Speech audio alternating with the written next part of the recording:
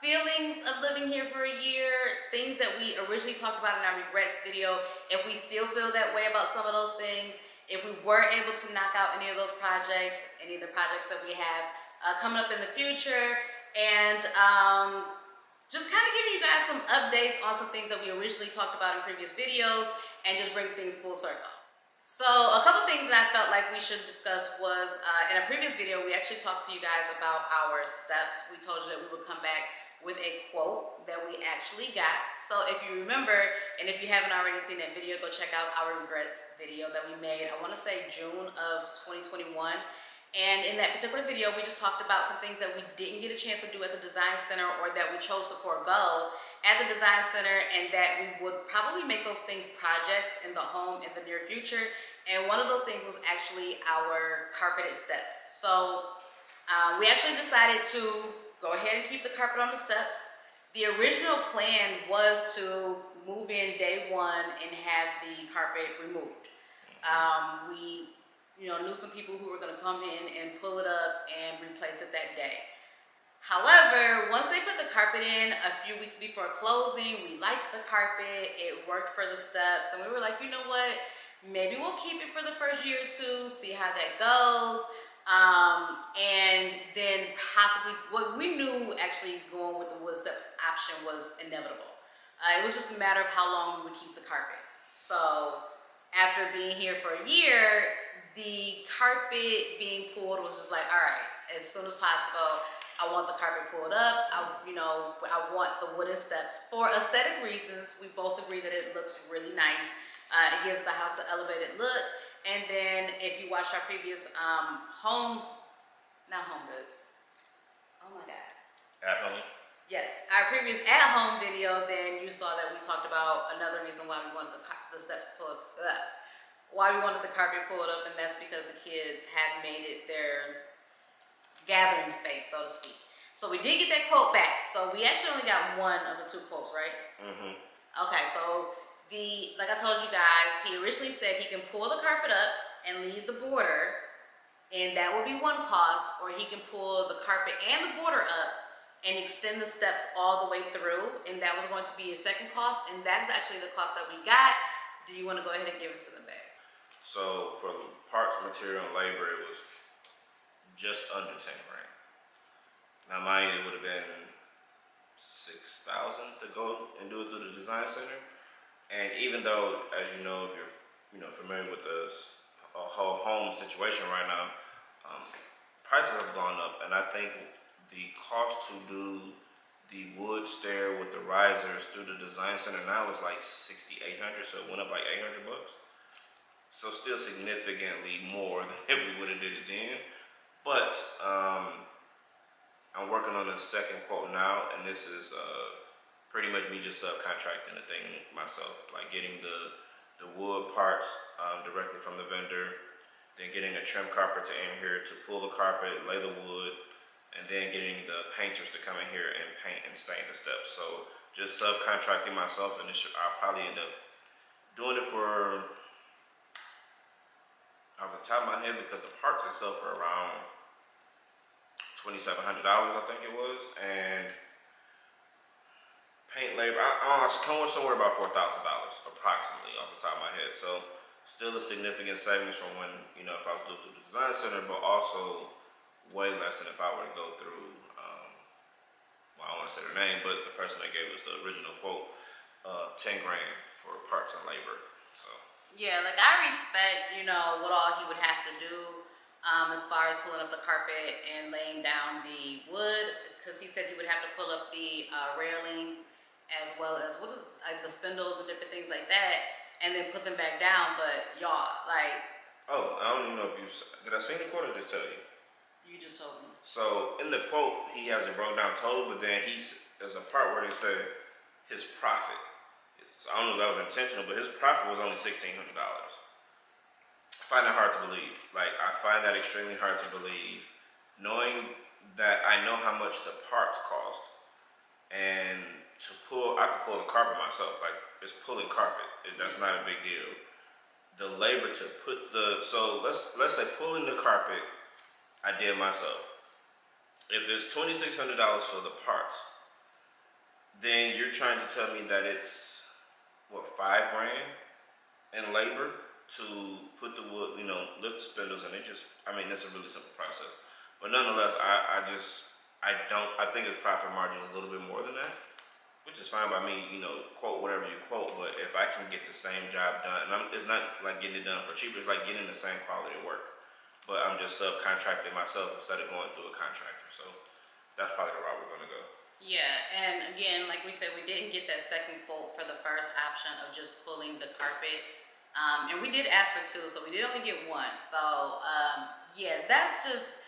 I know a lot of people said like, well, you should have just went through the, the design center. And actually, y'all said I should listen to Akeem. Akeem is the one who said he didn't want to go through the design center for the wood steps, and I agreed with him after he said he didn't want to. Uh, yeah, I didn't want to spend the six grand because I knew I can get it done for. At that time, I probably could have got it done for half the cost, um, the way that I'm talking about doing it now. So even if that's gone up a little bit, I, I'll still come out on top. It's just that for simplicity reasons, being able to move in and it already be done, yeah, I should have did that. Yeah, like I think that. So going back to like I said, the regrets video. Um, that would probably be the one thing. Not that we didn't go through the design center to get it done, but that we didn't stick with our original plan of getting it done the day we moved in. When we said, you know, as soon as we closed, we were gonna have it pulled and replaced. That would be my main regret was just not having it done that same day. I, I mean, things happen for a reason, but that quote, the price, it's just it's yeah, it's not gonna doing that. happen. Um, so in the meantime, we also had contractors come in, um, and like I said in the very beginning, we told you guys about different projects that we want to do. I know we talked to you guys about the quote, or at least the project that we want to do in the uh, theater because we were, you know, showing you guys our new theater chairs. Um, if you haven't already checked out that video, check that out where we show you guys our updated theater chairs, and then we will have an update again coming relatively soon. So make sure you guys stay tuned. But we also got quotes for, we have like what, two or three quotes for the dining room wall, for the paneling on the dining room wall. Um, Yeah, we never we never showed a picture. Should, Of should our- we show? 'em? yeah, we can go ahead and Or should we and, just reveal it once we do it? that's a good question. So, So we we'll won't show pull you. that over in a, in a, We won't show you exactly what we're doing, but we'll show you some images of some examples of, of what we're thinking talking about because if you're i mean you've probably seen it, it's extremely popular right now it's just you know just wood not panels but wood detail on wall that you know you paint an accent wall but just with the wood details um Yeah, we had like these big plans before we moved in. Um, we actually had someone come out and we had, you know, decided on a couple walls that we wanted to do. In hindsight, being here a year later, I'm so glad a lot of things that we talked about doing before we moved in, we didn't go that route. Uh, for numerous reasons, but one of the main reasons was once we got here and lived here and saw everything put together and kind of got an idea of like our design, um, our design style and desire of what we want the house to look like, we would have had to change a lot of things within the first, you know, six or seven months of living here. One of the things was actually getting the paneling done in the uh, bedroom. I, I thought we were gonna go jet black uh, in the bedroom, and we've actually changed up our design style about that. And I told you guys numerous times I wanted to be very light and airy, and the black contrast in there just would have been a little too bold for what I wanted for the bedroom. And then originally in the office, we wanted to do a black accent wall. And we pretty much have axed that also because then we decided we wanted to do cabinets and a built-in desk. So that was actually one of the quotes that we got recently was for a guy to come out and he's gonna do cabinets behind us and then he's gonna do, what is it, what is the desk called? Cause I kept calling it an L shape. T. T-shape. Yeah, so he's gonna do a T-shaped desk because as you guys know, Akeem and I are going to share the office. Um, we both edit our videos and then we both have our own businesses that we run. So, you know, we want to be able to have our own setup where we can go in and work either simultaneously or, you know, whenever I'm in there, he's out here, vice versa. So we actually have a really good design for that. I, did you get the quote back for that one? yeah Did you want to talk about it or not this particular video? So there's a there's a carpenter that lives in our neighborhood and he does amazing work. But um, the only issue is Like it doesn't come with like fin- it doesn't come finished. So, you know, he showed us a couple designs where he built custom built-ins on the wall, the desk. He showed us custom islands, islands in the kitchen that he's built with spindles, the whole nine, like amazing work. But it doesn't come finished, so there's no paint, there's no tops to it, none of that. So, um, just to kind of give it hindsight, uh, we have we already know the one company that we're going to go to. And I'm gonna touch on that in a minute to do the detailed accent wall in the dining room, and it was eleven hundred dollars. And the guy that will do the same thing but won't paint it is a thousand dollars. So it's like for extra hundred bucks. It's the same thing. Why wouldn't I have it painted? Because Yeah. you're gonna have to paint the wall and then paint the um, the wood accents as well. But we talked about it. I think that's something that we're going to do ourselves actually. So We picked a pretty simple design. Um, we've researched it. yeah, Uh, we're gonna try it out. We're gonna So- try it out. I think it. I'm handy with the tools. Don't get it. Don't get me wrong. But it's like when you get into intricate, intricate cuts and details, and you got to do math and geometry, and I could do both of those separately. I could do math, or I could do this. But trying to put them together to create an intricate design, now I pay a professional. And originally that was the plan. Like originally we had something a little bit more detailed. Y'all see, she cut me off that time. I did, but I just want to say originally we did have something a little bit more detailed, which is why we looked into you know different contractors and originally why we had you know people come out. But then we both came across a design that we really really liked, and it was a simplistic design. And so after careful consideration, we were like, we should probably be able to do this. So that's how we're that's why we're going that route. So yeah, so that's why. So we did get a quote. He he gave us a quote to like build the risers in our theater for the chairs. He gave us a quote to uh, right behind, right Both over here, actually. right behind Missie over here um, is where all of our uh, speakers that we have throughout the house are terminals there. So we need like a credenza or Something enclosed for sure. yeah, that we can, you know, tuck those cords and boxes and stuff in. So he gave us a quote to doing a custom build there, and then another one over here to match if we decide to do the symmetry or just one over there. He gave us a quote. We already talked about the office. We talked about the dining room. Um, I want to say that's all he gave us a quote Yeah, for. the, I mean, like he said, the risers in the theater, and then he's also the one that gave us the quote for like the little bar area. Yeah. So, but the thing, it doesn't come finished. It would be built in, so then you would have to tape off everything.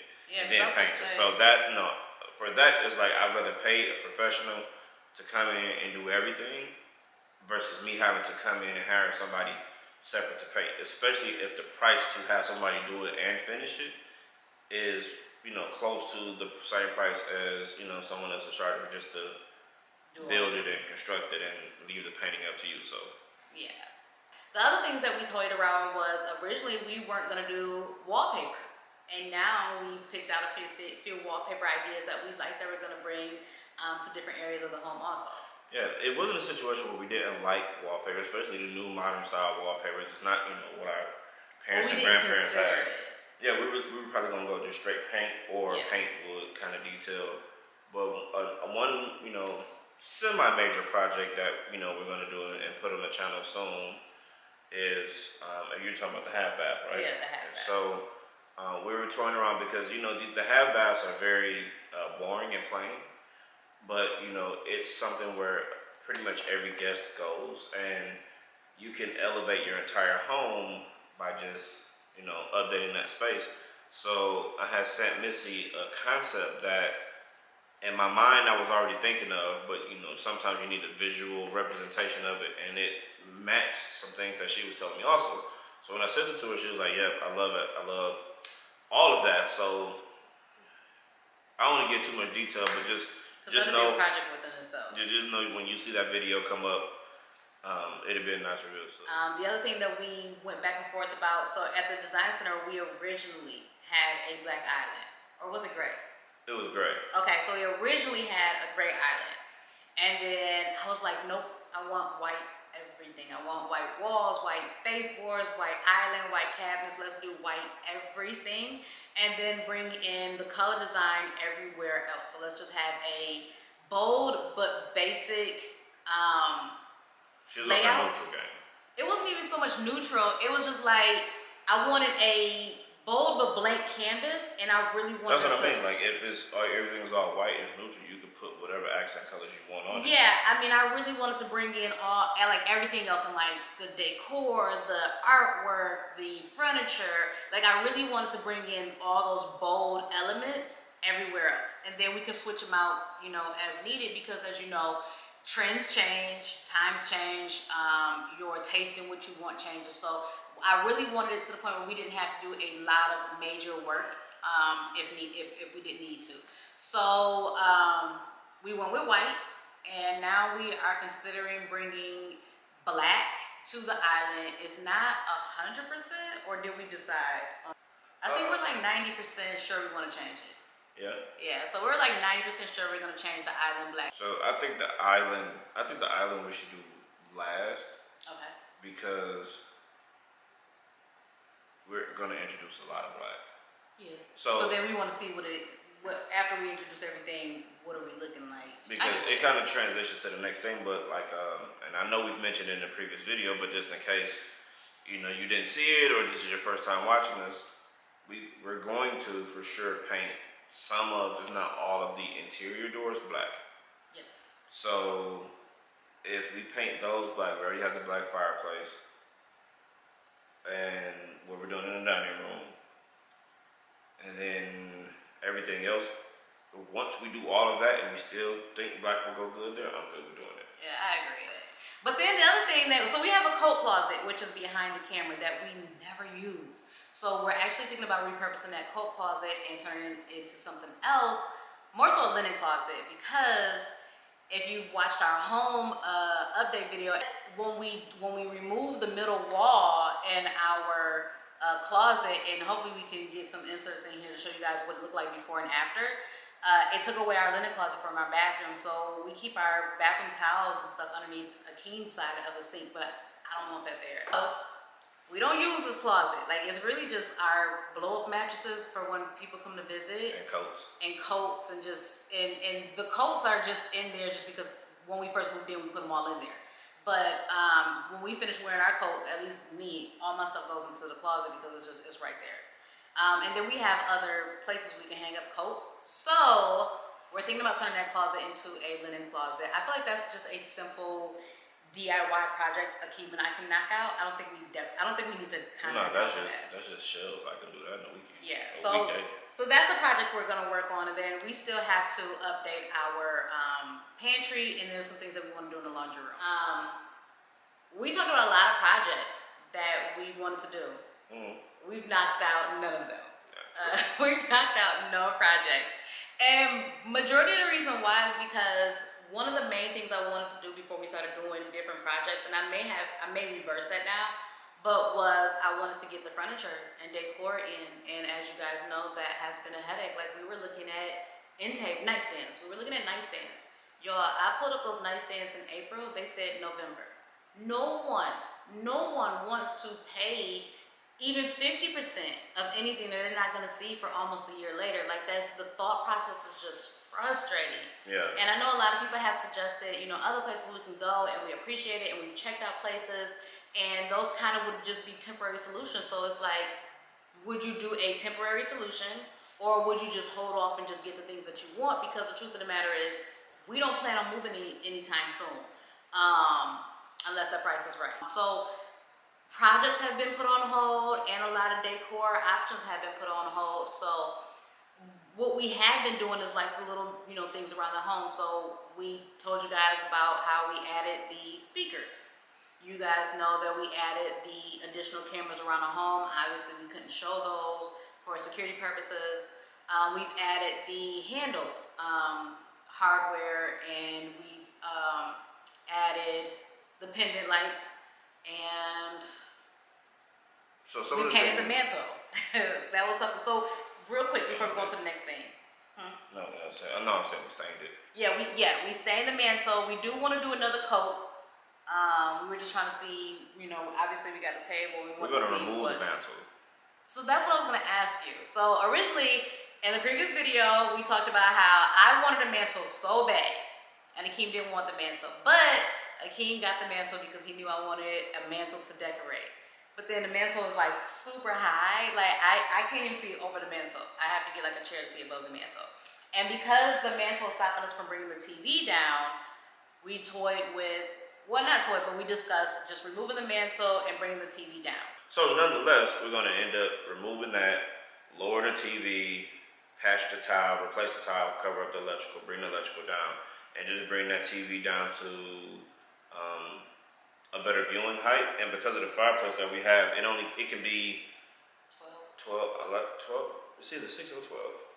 Oh, 12. Yeah, either way, it, it doesn't have to be that far. The TV doesn't have to be that far above the fireplace um, because of the one that we got. We talked about the pneumatic switch. Do you still miss it for the dishwasher? I mean, it was just one of the things if I did it then. I mean, there's tools that you can buy to incorporate that. It's just uh, It doesn't bother me. I mean, you just go under the cabinet. I think the only thing that would frustrate me, or does frustrate me, is sometimes they'll turn off the uh, dishwasher when turning on the garbage disposal.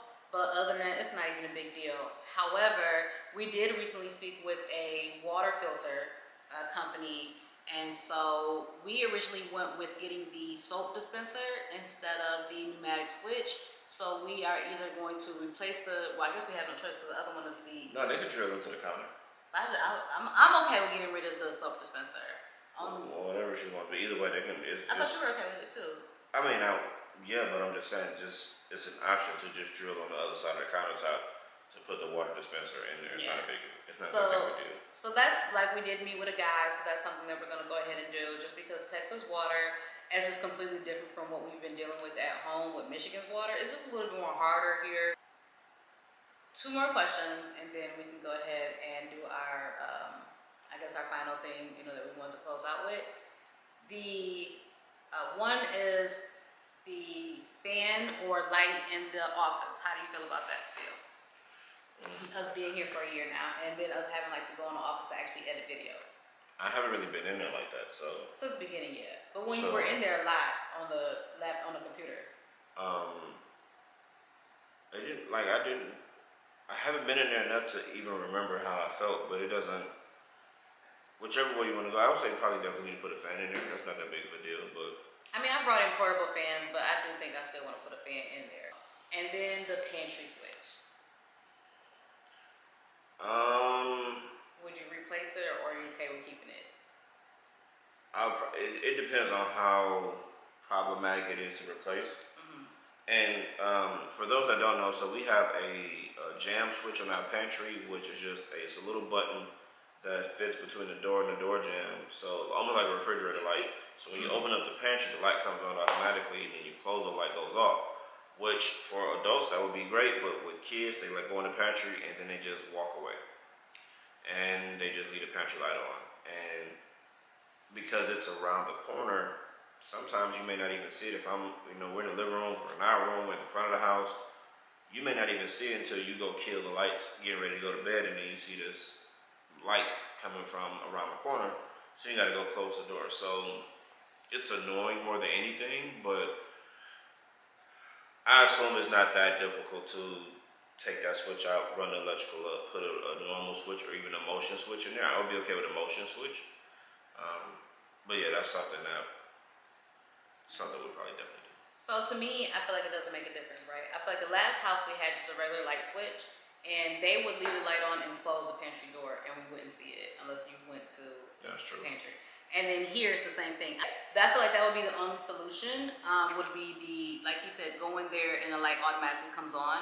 And if we do that there, I would like to do the same thing to the laundry room. Or I'll put a uh, tension spring on the door because I'll just close it when you open up the door, your body is naturally holding it open just based on how, the design of the pantry. Mhm. When you walk away, it should close automatically. So I may put that actually may be the easier solution.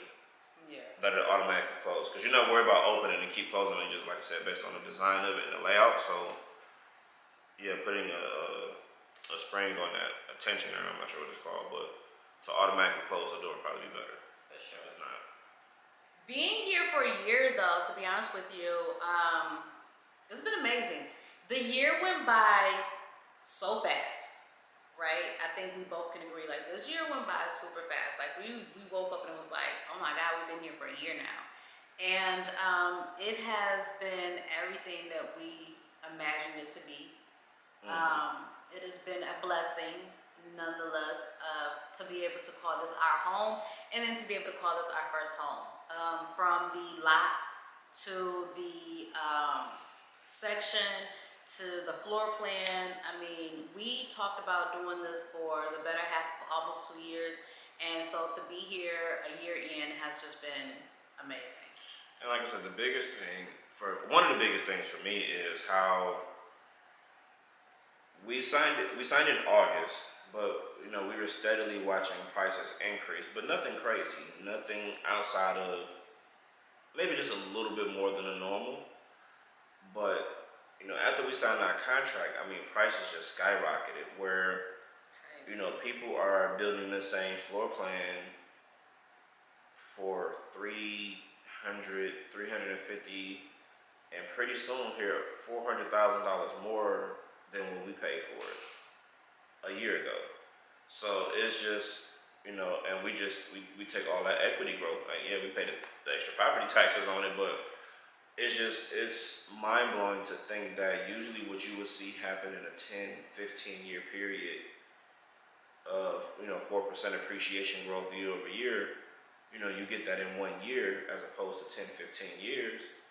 And it's, it's not unfathomable to think that you know this home will touch a million dollars really really soon if things you know keep going the way that they're going. And like i said god's timing is ultimately perfect because i mean if we would have just been two to three months later we would have paid a hundred thousand dollars more for this house. Yeah because we actually weren't even going to we planned on going under contract in December. In December of that year, and December it just so happens that we went under contract August.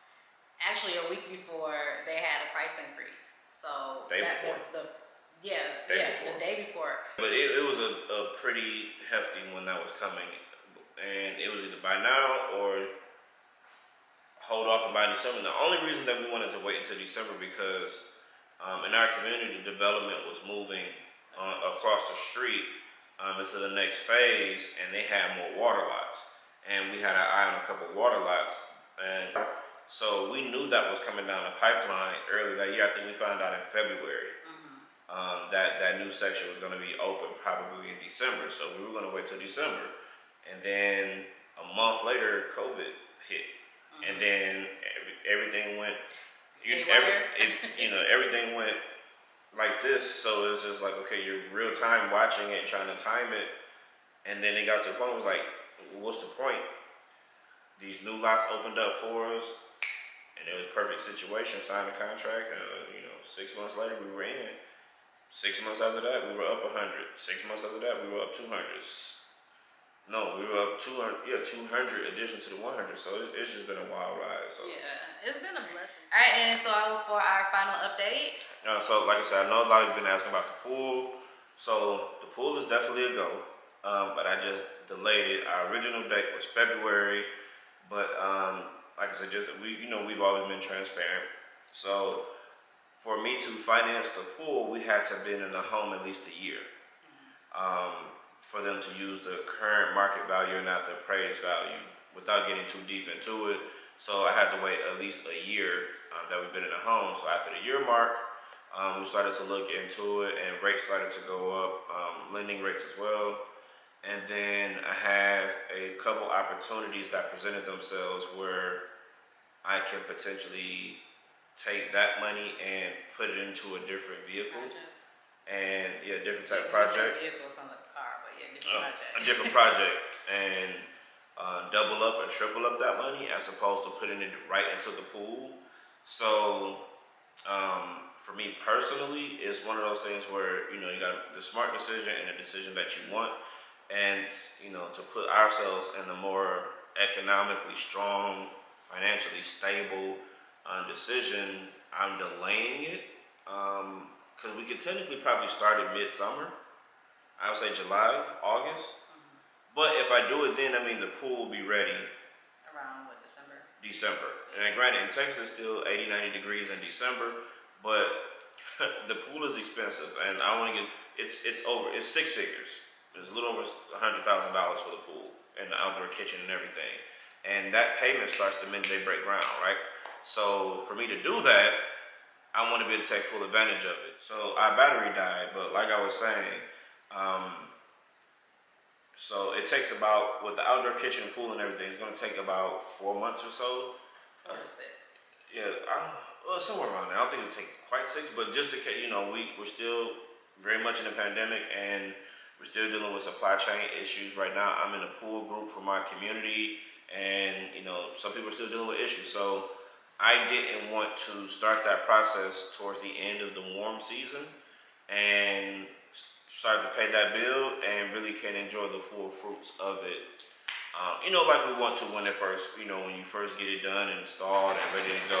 Like, great, there's going to be times once we get it, you're going to pay for it even when you're not using it. We get that, but it's just that initial, it just sucks to have the pool done and it's 40 degrees outside, you know. So yeah. even though we have a, a spa, even though the pool will be heated, I'm not getting the pool, I don't care how much heated it is, if it's not you know. Not even just that, it's the cost, right? Yeah. It's the paying for a whole pool and backyard and only being able to use a small portion of it. So that's a decision that we both, you know, it was a hard decision, right? but that's something that we both kind of. It wasn't really hard because it's not like you. It's not like we're canceling it. Uh-huh. We're just delaying it. So it's delayed, not denied. So it's just it's we're just putting it off. Ideally, started at the end of this year, and that would be ready for spring next year. Or at least before Zuri's birthday. yeah, so somewhere along those lines. So it's still happening. It's still going down. We're not canceling it. We're just moving it so we can make, so essentially we can make some more money. Um, because I, I, I don't want to go into too much detail.